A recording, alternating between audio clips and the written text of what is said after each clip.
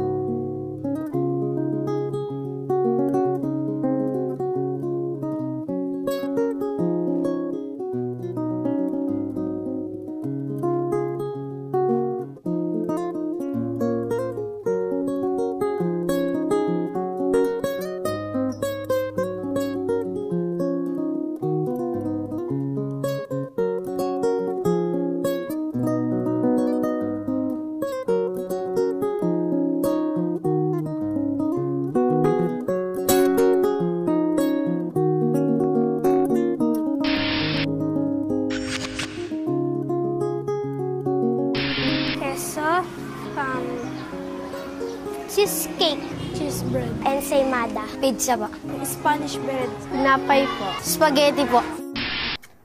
Ano yun? Bakit di na mabango tulad ng kahapon? Parang nabulok na ba ang keso? Hindi bulok yan. Yan talaga ang amoy ng ibang keso. Ibang keso? Naku, daan-daang klase ng keso meron sa iba't ibang bansa sa buong mundo. Iba-iba ang kulay, kinis, lasa, mga sangkap at pabalat ng mga ito. Iba't iba rin ang paraan ng paggawa at iba't iba rin ang klase ng hayop na pinagmumula ng gatas na ginagawang keso. Sa Pilipinas, ang mga karaniwang keso na nakikita natin sa pamilyan ay ang cheddar, parmesan, queso de bola, mozzarella, cream cheese at cottage cheese tulad ng kesong puti. Ang keso ay maaaring ituring na magandang alternatibo sa gatas dahil taglay nito ang mga sustansya sa gatas. Pero mas matagal ito bago masira kaysa sa gatas. Ang keso ay mas tumatagal sa refrigerator kaysa sa gatas at ang iba ay hindi nabubulok kahit hindi ilagay sa ref ng mahabang panahon. Pero tandaan, kahit masustansya ang keso, hindi rin dapat sobra-sobra ang pagkain nito. Tama ka dyan, partner. Tatandaan ko yan. At ah, may mga keso kasi na masyadong maraming fats. Tama ba yun? Tama, partner. Kapag nasobrahan ng pagkain ng fats, ay maaari magdulot ng sakit. Tandaan, sa pagkain, huwag labis at huwag din kulang. Kung itatabi natin ang keso, ay mas mabuti kung itatago natin ito sa orihinal na pambalot nito. Kapag nahiwa na ang keso, balutin lang itong maigi. Pwedeng gumamit ng plastic o kaya ay wax paper o foil para hindi ito matuyo. Huwag ilalagay sa freezer ang keso dahil titigas ito at mag-iiba ang lasa. Kapag nagkaroon ng amag sa ibabaw ng keso, pwede itong tanggalin. Hiwain ng 1 half inch ang kapal sa paligid nito. Pero kapag marami ng amag, itapon nyo na ang keso. Baka magkasakit pa tayo sa halip na maging malusog. Ibig sabihin, magugustuhan din natin ang amoy ng keso? Hmm. Parang nagugustuhan ko na nga. Sanayan nga lang naman. Oo, lalo na pag natikman niyo yung keso. Eh di ba yung keso gawa sa gatas? Eh paano yung mga taong ayaw ng gatas? O kaya yung mga taong sumasakitan dyan kapag kumakain ng produkto na gawa sa gatas? Sasakit din ba ang tiyan nila kapag kumain sila ng keso? Karamihan sa taong lactose intolerant o sumasakit yung tiyan kapag uminom ng gatas ay umiiwas din sa keso.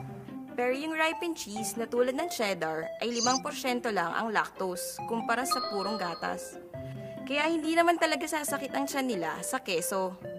Pero partner, merong mga taong grabe ang lactose intolerance sila na sinasabihan or pinapayuhan na huwag kumain ng mga keso na galing sa hayop. Pero partner, meron bang keso na hindi galing sa hayop? Meron na rin naman kasi ngayong keso na galing sa soya. Ang tawag dito ay soy cheese at kinakain din ito ng ibang mga vegetarian. Pwede rin naman ang pagkain ng keso ay unti-unti lamang para hindi mabigla ang tiyan at masanay ito.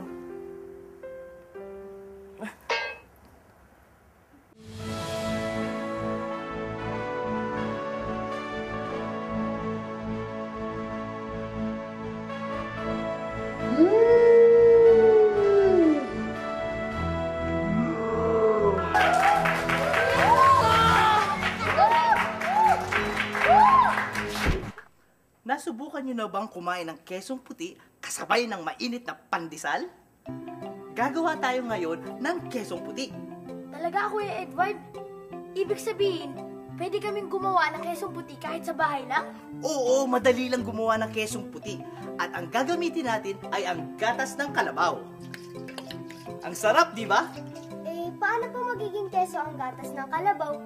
Di po ba lalagyan ng bakterya o enzymes? Sa pagkakataong ito, ang enzymes ay manggagaling sa suka. Yung iba naman ay gumagamit ng rennet o renin sa paggawa ng keso. Ang rennet o renin ay mabibili sa mga specialty stores. Ayan, lagyan na natin ng suka at tingnan natin ang mangyayari.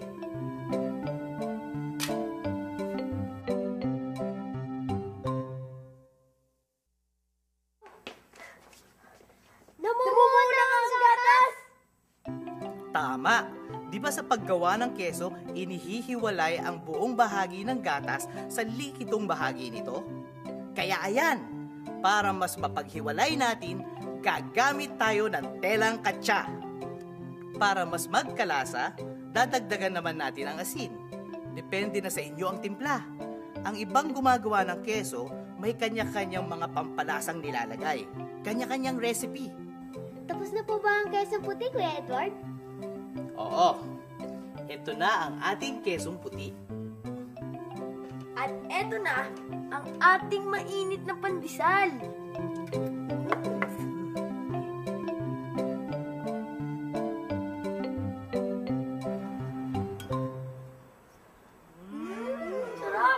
Ang husay talaga ni Mickey! Mabuhay si Mickey! Kainin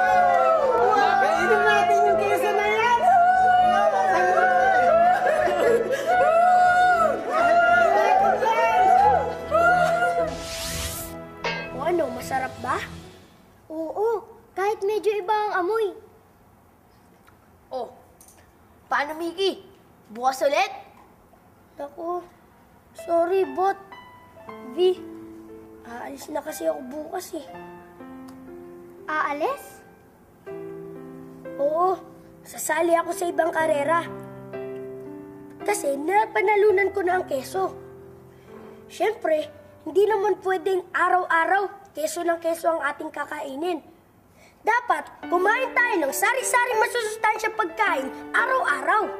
Yang daan tungo sa kalusugan. Alam mo rin ha? Marunong ba kayong gumawa ng pandi pizza? Mahalagang sangkap dito ang keso. Pwede niyong gamitin ang tirang pandesal o loaf bread na hindi naubos sa almusal. At iinito, lagyan ng tomato sauce o pizza sauce at keso. Pwedeng slice ang keso at pwede rin namang grated. Tapos, pwedeng lagyan ng sari-saring sangkap o kaya sari-saring gulay tulad ng mushroom, kamatis, o kaya yung mga tirang ulam gaya ng giniling na karne, ham, sardinas, tuna, o kaya prutas gaya ng pinya. Tandaan, mas maraming sustansya kapag mas marami ang toppings. Ilagay sa oven toaster at ayos na! Ang daming pwedeng gawin, di ba? Oo, Lobot. Ano, Panala tayo dito? Oo ba? Kesong puti ang premyo. Nagustuhan ko kasi yun sa bahay nila, Mickey. Tayo na! Tayo na!